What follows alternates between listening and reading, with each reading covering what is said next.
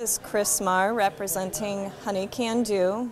Honey Can Do has a few new items coming out for holiday 2013. Gifting items. Uh, one of those items is rechargeable corkscrew. The corkscrews um, make opening a bottle of wine a breeze and can open up to 30 bottles of wine with a single charge. It's designed with an ergonomic comfort grip and operates with the touch of a button. A foil cutter is integrated into the lid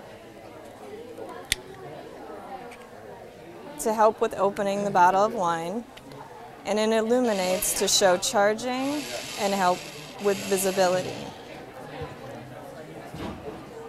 Charging happens in the back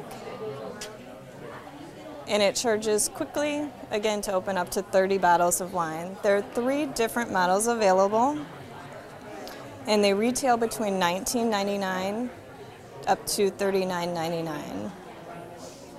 Another gifting item for this year is battery-powered belt and tie rack. The space-saving design hangs from any standard closet rod and holds up to 64 ties or belts. It rotates forward or back with the push of a button and illuminates to make finding the right tie in a dark closet a breeze. The rack retails for about $24.99 and is available at major retailers and online.